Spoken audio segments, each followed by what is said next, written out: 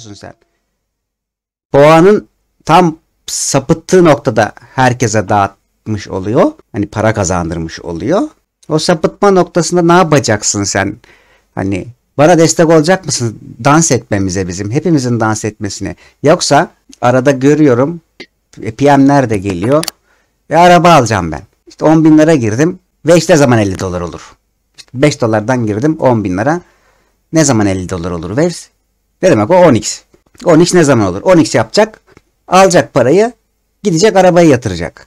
Market Maker da diyor ki kardeş ben sana ev de aldırırım, araba da aldırırım, villa da aldırırım ama bakalım sen bu sisteme güveniyor musun?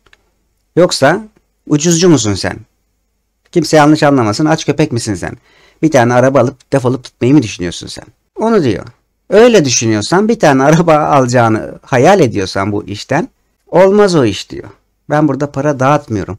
Sen Waves'ten ya da VeChain'den ya da işte Ethereum'dan kazandığın parayı komple sistemden çıkartmayı mı düşünüyorsun diyor. O bak para dağıtmaya geliyor işte arkadaşlar. Ha yok şunu anladın mı sen acaba diyor. Ethereum'u ben 5000 dolar yaparım ama o kazandığın paranın minimum %25'ini tekrar kriptoya yatıracak mısın kardeş? Ethereum'dan çıkıp Waves'e destek olacak mısın bana Waves'i götürürken?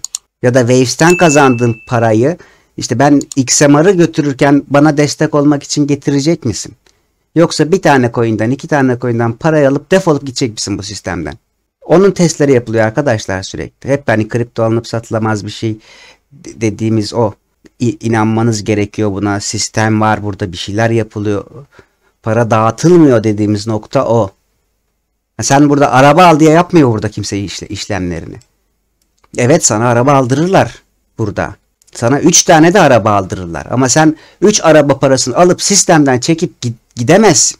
Onu diyor adam zaten. Ben sana 3 araba parası vereceğim diyor. Sana o 3 araba parasının bir tanesini tekrar sistemde tutmaya devam edecek misin? Güzel abim benim diyor. Yok tutmayacağım ben hepsini de alıp gideceğim. Bir daha da arkama dönüp bakmayacağım siz ne bakıyorsunuz orada diyorsan biz burada para dağıtmıyoruz abicim diyor. Ben Waves altında bir proje yapacağım. Bunun için Waves'i 5 kat arttıracağım. Sana 5 kat para vereceğim yani. Ama e sen yaptırım benim başka bir projeye sana verdiğim 5 kat paradan bir katını yatırmayacak mısın güzel abim benim diyor. 5 bin dolar para yatıracaksın sen Waves'e. Ben onu 30 bin dolara getireceğim. Ondan sonra da Waves altında bir proje yapacağım. Sen bana 5 bin dolar vermeyecek misin güzel kardeşim benim diyor. O zaman para mı dağıtıyorum ben burada? Seni zengin etmek için mi uğraşıyorum ben burada diyor. Aynı şey Ethereum için geçerli. Ethereum balinaları bunu yaptı bakın. Yeni gelen nesil yapmadı bunu. 2017'den sonra gelen nesil yapmadı bunu. Aldıkları bütün parayı çıkarttılar dışarı. Ondan sonra ayı sezonu geldi. Hala bitmedi ayı sezonu. O kafa yüzünden. Ama ilk Ethereum balinaları bunu yaptı. Ethereum fiyatı arttı. Ethereum projeleri çıkmaya başladı. Ethereum ikoları çıkmaya başladı. Adamlarda şu bilinç vardı. Kardeşim ben Ethereum'dan para kazandım. O zaman ben bu Ethereum zincirine destek olayım. Yeni çıkan bir proje varsa bir, bir Ethereum'da ona atayım. Varsın yok olsun o Ethereum. Alsın alsın gitsinler. Maksat zincir çalışsın. Maksat neşemiz yerine gelsin. Ethereum'dan 1 milyon dolar para kazanmışım ben zaten. 5000 dolar da atışlayayım şunu da çocuklara, geliştiricilere. Varsın dolandırsınlar beni.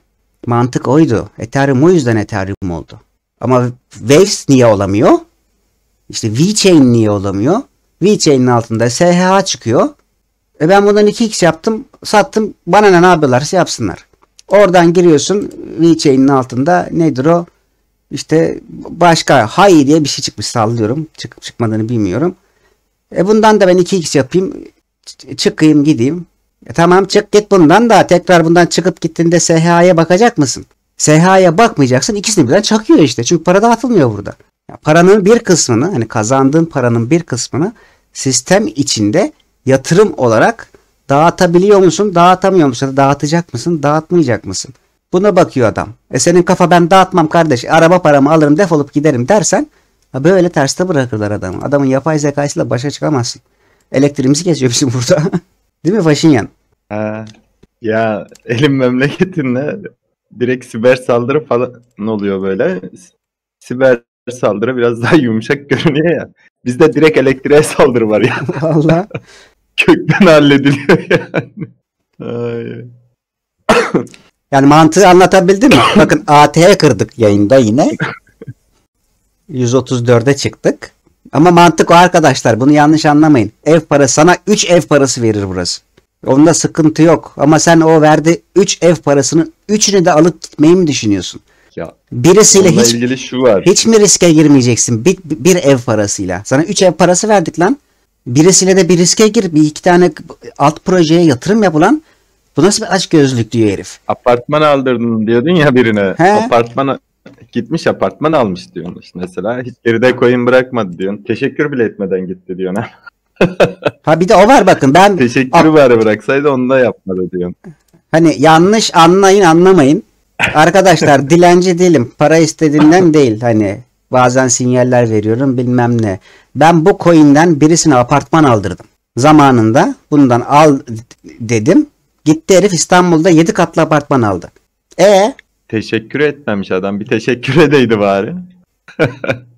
VeChain'de Abicim teşekkür ederim dese yeterdi yani. VeChain'de Franco da oldu o aynısı.